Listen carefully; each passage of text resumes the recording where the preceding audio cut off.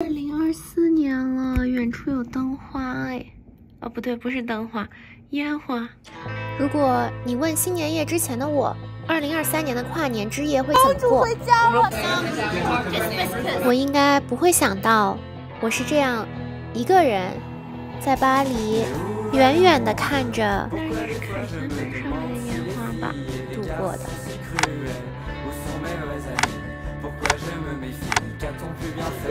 你好，巴黎。如果坏事都有前兆，这次旅程的开端很难说不是其一。被撞了，我的 vlog camera 落在了他的床上。不行，我要振作。作为一个博主，重要的不是我的设备，而是我喜欢录视频这件事情本身。在我找到我的 vlog camera 之前，只能用这种比较 old school 的方式记录一下。回到了长沙 vlog 的身上。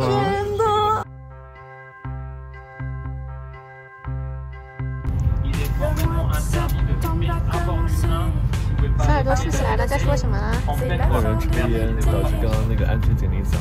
哦，天哪，这真的听得懂。刚刚过了这个隧道，然后再再返回来。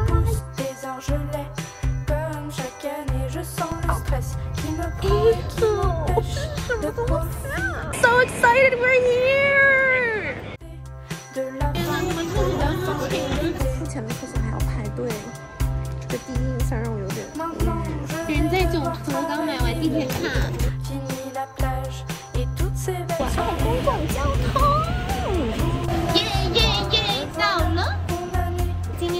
了囧途之后，我们终于进入了我们的公园，然后现在要出门吃饭了。现在是李敏杰教授法语小课堂，也不会李敏杰就是完全没有会在说这多我我完全懂很多啊。李敏杰开始谷歌翻译，是懂很多啊。就是又想抽烟，但是又不会说，怎么会这么狼狈啊？Est-ce que vous avez un cigarette？You have a secret？你太算了吧！你为什么要突然蹲到地上？因为人走的时候很尴尬，我在这里放这个东西。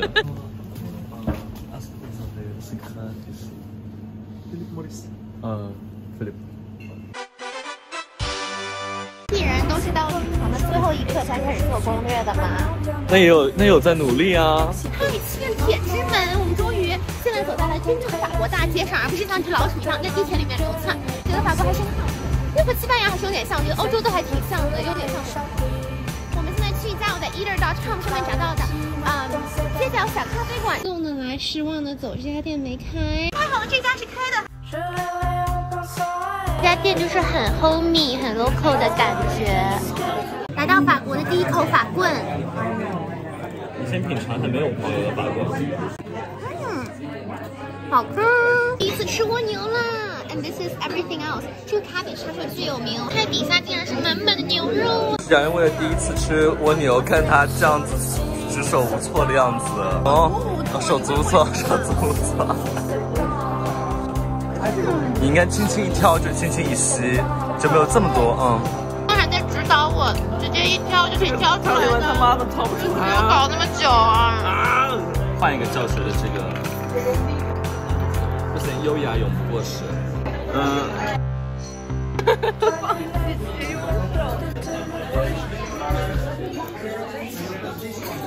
这个慕斯长得好粗犷，它应该会很 fluffy。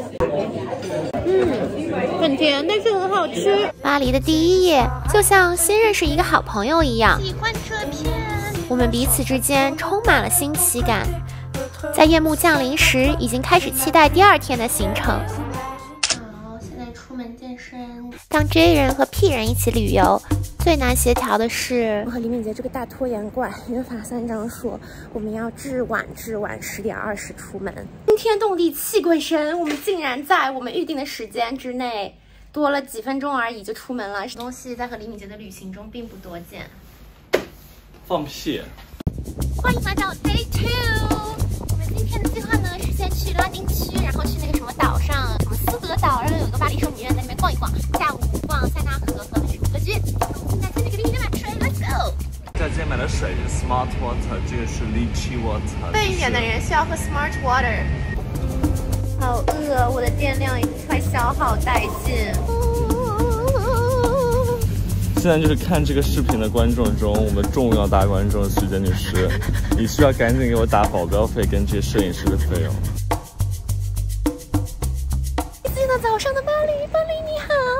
喜欢它这边这个城市，就是很 organic urbanism 的感觉。大家随我一起来看看。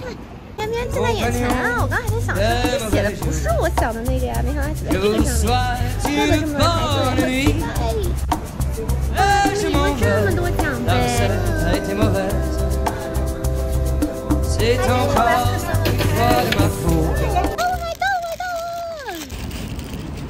嗯，空调巨好吃，它里面的结构就是超级好。那鸽子真的就是传统异能，就是我这个可颂吃掉下来，他们就来捡。面团非常的筋道，能尝到它的面筋，但它外面又非常的脆，这就是这个 combination 就非常非常的好。我会很期待另外一个这个 pound of chocolate，你不要偷吃了。怎么跟我说话？嗯，你真是小人之心，夺君子之腹。哇，哎，这种时候就是还是有点想念我的 vlog camera。但是我转念一想，maybe it's a good thing，可能就是 vlog camera 这种东西很容易在这边被偷，所以我没有带是一件好事。只点咖啡，所以可以直接喝。这里好可爱。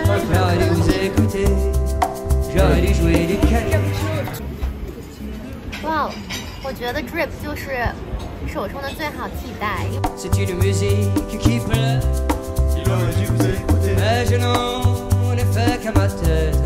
这个公寓大家看出有什么特别的吗？除了那边的那只猫。嗨，大家欢迎来到 Stone in Paris。呃，谷歌地图说它是 Emily in Paris 拍摄的地方。甭管尊嘟假嘟，照片先拍起来。这鸟在这个水里洗澡，感觉好开心啊！在那个公寓起我们猜这个应该是剧里取景的餐厅，但感觉又不太像。来到了莎士比亚书店，但是这边要排队才能入场，现在等一等。我们的身后呢，就是正在修复的巴黎圣母院。刚刚浅浅学习了一下这个店的 history。它之前是个 monastery，然后它的那个 founder，他在创始的时候也说自己是 the sole monk in this monastery，然后后来他是在一九六四年的莎士比亚400年诞辰纪念日的时候，把它改成了 Shakespeare and Company，用来 honor 另外一个叫 Shakespeare and Company 的书店。它是之前是一些很有名的 writers 的 gathering place。小杨导游说真好。革命快要成功了，就等这个人把我放进去。这个书店里按理说是不能拍照的，但我们偷偷摸摸的拍了一些。Shakespeare and Company，然后我买了一个袋子，然后还买了这本书给今天晚上我们一起吃饭的一个法国的教授，就是买这本书给他。次的命运再次出现，又是一家不改的。餐馆。中饭来这家店吃，他们酒单设计的好好看。它的连酒杯多少钱？它是按毫升一起来称的。哦，这是一个什么？sausage 什么？的，然后这是这个 sausage，然后这是一个。觉得这个香肠很好吃，因为它不是那么的咸。我觉得有些香肠就容易做的很咸，比如德国的香肠。然后这个配上这个土豆泥就是很妙。这个梨也很好吃，因为它里面就是有一些甜甜的水果香气。在想这种绿的是干嘛的，然后发现它其实就是这种可以打开的小铺面，很有意思。一起探索巴黎的第一天，我们都很愉快。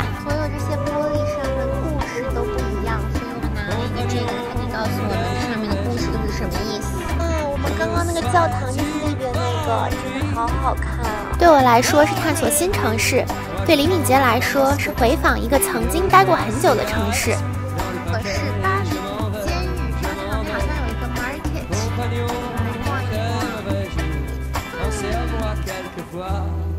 好美啊！我觉得不管在一个城市待了多久，如果以游客心态去游览，总能发现许多之前没有发现过的珍宝。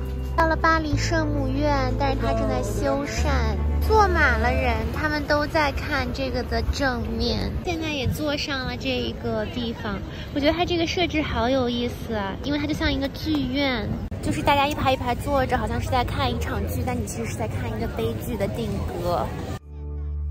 到了塞纳河我们刚赶到这儿没有想到这个队伍这么的长。我们可能走到看到队伍的顶端又走了大概五分钟才走到这儿现在就是缓缓等待进场。美完美啊自由女神像。不得不说这个游船是真的冷但是巴黎铁塔也是真的美。冷到我们腿直打颤。你得有病。刚结束了那个游船 tour，然后我的手机只剩了百分之二十的电，并且我的充电宝被李敏杰给抽干了。然后我们现在平等的抽取，只不过你抽了更多次而已。no，现在就是要去和我的同事的共同好友，是一个在巴黎教 marketing 的 professor 一起吃晚饭。终于到啦！我能。The mic makes it better. Yes，我真的好开心能够认识这个教授，就是他人真的超级扯，而且是很年轻的那种感觉，对吧？就是和我们完全没有距离感，然后我们跟他聊得超级开心是。同龄人。然后他还教会了我那个法式贴脸，叫什么来着？不用忘了，必须就是我觉得我人生中第一次和人法式贴脸，太有意思了。两位表现是。因为我以为我也应该亲亲他一下什么的。旅行的时候，我们仿佛总是倾向于统一步调，但在我看来，用自己的速度游览才是最舒服的，即使这意味着有时需要分道扬镳。来到了凡尔赛宫，这王子回家，王子回家。哇！Écran total. That means uh, full screen. Et je crois Oh, que, you know what it means, no?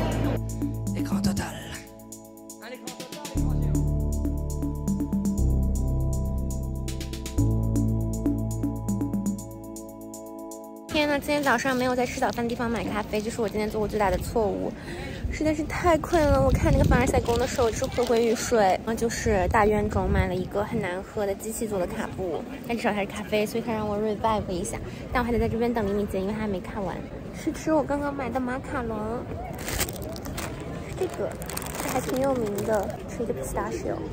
再来吃一个这个什么 tea 味的。对不起，李敏杰，我本来是想三个都和你分着吃，但是我实在是太饿了。嗯，这好怪，好甜啊！嗯，剩一半给他吧。这个偌大的皇宫没有什么吃饭的地方，唯一一个吃饭的还有 reservation，所以我们就只能到一个很破败的咖啡买了这个 sandwich。我真的是快要饿得魂骨梯了。拮据的 theme 就是我们拿出了昨天打包的这个香肠。穷人来皇宫野餐了，就是吃一些自带的东西。凡尔赛王子给你们做一些介绍。嗯，我们来到著名的这个波旁王朝的这个太阳王建造的这个宫殿，建造的。非常悠久。好，镜头我们一起往左边看，看一下皇凡尔赛宫的这个 beau beautiful 的这个风景。嗯，好，那这些树也太规整了，它就是像一个小标点符号一样的那个圆圆的。这个凡尔赛宫逛的人真是又冷又饿，两个农民速速逃回城。刚刚和李敏杰分开，因为他要去见他的一个教授，然后我现在独自逛马马来区。看这个店还蛮像 Derrière leur 坐在这个窗台 écran total, 吃啥？les gens se régalent. 好神奇，一个 crepe 可以变出 La ville est à cran, d'un vrai visage pâle, c'est le carnaval. 包子一样。我是让他推荐，我说哪个是最最有名的，然后你推荐了这个，应该是罗家乐，它是一盒 vanilla ice cream，好甜，但很好吃。其实我还蛮喜欢这种在异国他乡一人食的感觉的，因为我谁都不认识，就感觉茫茫天地间只剩下了我和美食。饱喝足去光顾桌，第一家叫做 Predilection。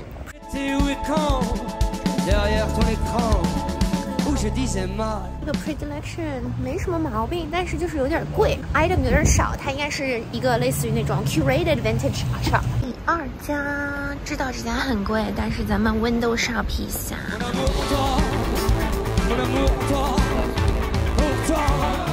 Sur quel pied 这个 Isabel Marant 的贵哥超级努力，一直在夸我，但是我就是一个无情的 shopper，然后就跟他说，嗯，这我不是很喜欢呢。OK，第三站，呃，一个叫 Maxi 的店，好像特别有名，但是很好逛的，然后看到一些很可爱的日本的工装但是实在是太贵了就是它一个很可爱的 beanie 就要一百多欧然后我想想还是算了。因为时长限制这些 log 先到这边终止如果想知道我是怎么在巴黎由爱生恨请见下期。